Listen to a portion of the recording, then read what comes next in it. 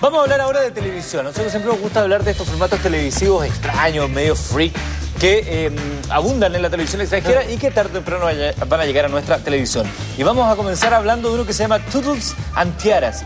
Niñitas Ah, muy chiquititas sí. que las ponen así como si fueran adultas y las hacen aparecer muy extravagantemente como si fueran mujeres grandes. Y de eso se trata ¿Qué son esta competencia. Oye, el otro día salió un reportaje que, que decían que, o sea, que mostraban a una mamá que le ponía botox a No, su es hija que ahí de no, ahí te 8 pasaste. años y tú era para subirle las cejas porque la No. tenía, no si sé, para darle perfección, o sea, era para perfeccionar ¿Para qué lo la cara la la- niñita. No, te moría, una cuestión impresionante. 8 años. Bueno, y el fin de semana recién pasado, perdón, pero una niñita en Francia salió en la portada de la revista Vogue también, vestida sexy, con los labios rojos, casi pilucha, Y una- y una en actitud posiciones un poco y en posiciones media eróticas. Sí, o sea, heavy. Son niños, weones. Eh, llama, llama mucho la atención que Tonto. hayan padres, me acuerdo de Little Miss Sunshine en la película, donde los padres también buscan que, bueno, en ese caso la niña tenía la intención, pero por mucho que la tengan, Da alguien debe poner cierto nivel de coherencia Es que siempre hay un a esto, límite, porque aquí hay una no- utilización... Pero si uno es mamá, uno Potente tiene que de- hacerse cargo de su hijo. Y ahí es donde está el error, creo yo. ¿ah? Yo creo que las empresas buscan el beneficio y yo creo que al final todos lo hacen, pero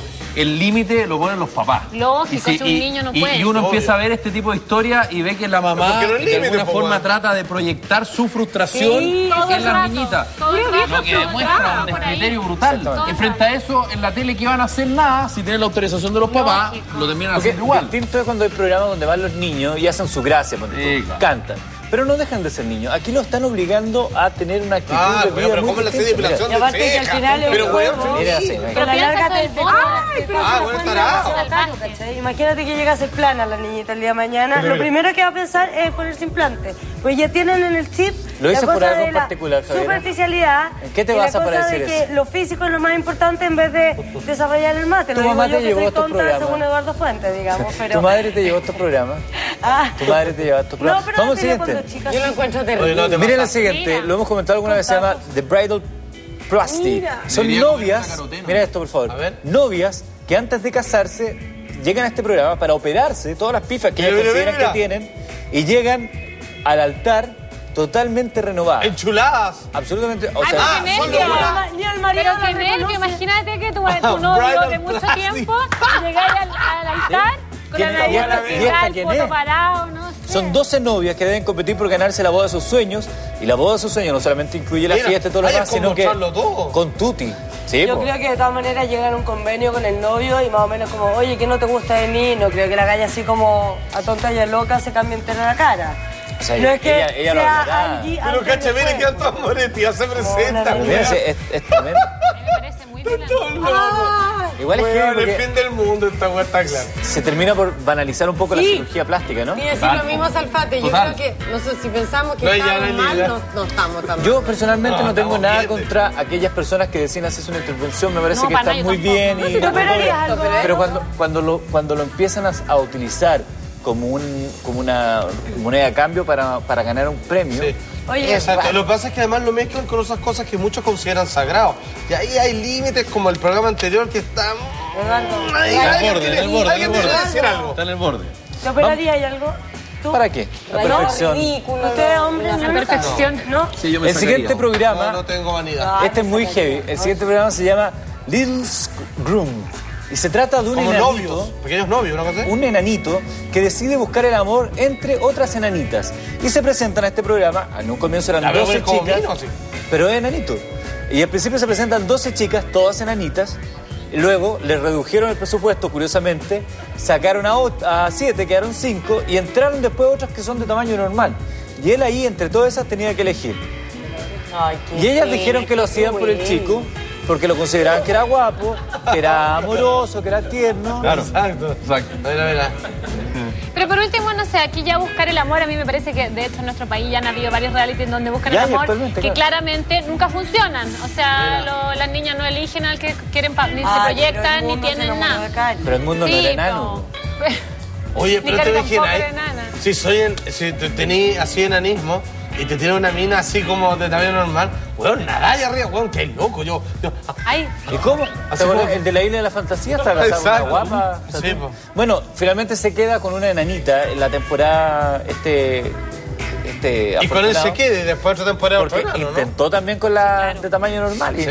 Y le fue mal. El otro que Oye, vamos a ver dicen que dijo, ya sabe lo que dice el dicho, enano, pero de este porte. se llama Super Size Me versus. Super Skinny. Y aquí es como un caricello. Gordo y flaco. Entre uno muy gordo y uno muy flaco. Lo que vemos ahí es parte de este programa. Ah, Buscan a una persona muy, muy, muy, muy grande y otra muy, muy flaca. Ambas personas evidentemente tienen trastorno alimenticio. Y los presentan para que analicen mutuamente sus cuerpos y en base a eso, y ayudado con especialistas, tienen psicólogos, médicos, nutricionistas, empiezan a buscar los errores que cometen cada uno en sus Buenísimo. dietas para tratar de buscar el equilibrio. Ya, este está más cuerdo que los anteriores. Ay, y tratan de juntarlo, que se equilibren. Exactamente. Que las dos tengan un... Claro, porque mira. ¡Hoy mira! qué heavy. Pero la que está flaca no está como, Oye, está tienen como la rica. misma edad. ¿O Está no? flaca dañada. Porque eso es importante. A veces Se la busca que sean parecidos. Claro, Ay, pero la gordita gente me que está más gordita a veces se ve mayor. Claro. Por un tema de salud. La guata adelantal que le llaman. ¿no? Bueno, y Mira las muy, muy flacas también se Ahora, la mayores. muy, muy flaca no, no es que tenga problemas de anorexia ni nada. Está No, porque ella se un tiene par que de kilos abajo. Claro. Es que la otra está claramente obesa. pues. Sí, claro. Pero la otra también está claramente Súper flaca, muy mira, se le ven flaca. todas las costillas por todo. Encuentro que es Mira, anorexia. mira, mira. Ay, pero eso como la Zafate, pierna. si tuvieras que elegir, Sí, lo que pasa es que al lado de Me voy por no la botona. Tendría que Mira. elegir el pliegue, Mira. sí. Pero mira, Mira, ese Claro que tengo que echarle tal, ¿cómo sabe por dónde es? ¡Ah! Para cachar el húmedo. ¡Ah! Salfa. Igual es, igual es un poco humillante tener Sí, que encuentro Mira, mal. mira este flaco. No, exhibirse ¿cómo sigue así. flaco? El humedad. Ay, Ahora, también es el concurso entre una mujer gorda y un, como lo estamos viendo Ay, ahora. mira, él es un Oiga, niño. flaco, pero la que cuelga. Oye, si al final... Ese hombre sí que es raquítico. bueno, Sí, el mira, último, el Felipe mira. mira, Felipe. el último que le vamos a mostrar, Felipe no es así. Paula. No, porque ese es muy blanco, pero parecido de flaco. El último que les vamos a mostrar eh, es un programa que se llama El Momento de la Verdad. Este programa consiste en que tú vas ganando dinero en la medida que respondes con certeza, con verdad, a las preguntas que te hacen, que evidentemente son preguntas incómodas y que, eh, y que por cierto, te van a dejar al descubierto frente a tu familia. Algo parecido a lo que nos hace eh, la maca con sus confesiones, que va a ser un ratito más. Veamos dos ejemplos de cómo se gana dinero con el momento de la verdad.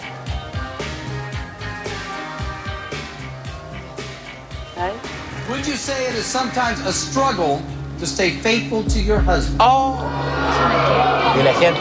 David, before she answers, Don't hold anything back. Just lay it all out there. Claro, gánate la plata, bitch. what do you think? Si una I don't want constante to comment. mantenerse I mean, fiel a su whatever, you know. Would you say it is sometimes a struggle to stay faithful to your husband? No, my uh, my husband has a job where it takes him out of the country an awful lot. So my answer would be yes. Pero igual, oh, correct. True, que true. siendo infiel. ¡Ay! Y, se- Question y este otro. 15. A ver, a ver. Van avanzando como los millonarios. Have you ever been paid for sex? Que han pagado por tener sexo, mira. ¿Qué es el pololo? Supongo. No, no, esa es la bolola. For $100,000, what is your Por answer? 100 100 dólares. mil dólares. Es más plata Y que la la... ¿Qué mamá. La polola y la mamá. ¿Pero la mamá de él o la mamá de ella? Yes.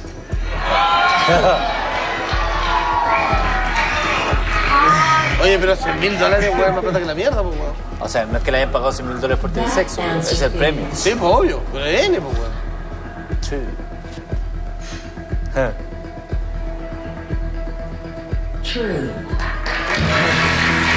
La cara así como de... Sí, porque está entre la ambición de ganar plata y la cuestión de que tenía la señora I would, during Quiero saber college, por qué. I, I was getting paid for it, so I took the money. Está bien. Era joven, necesitaba el dinero. Lógico. A todos nos ha pasado.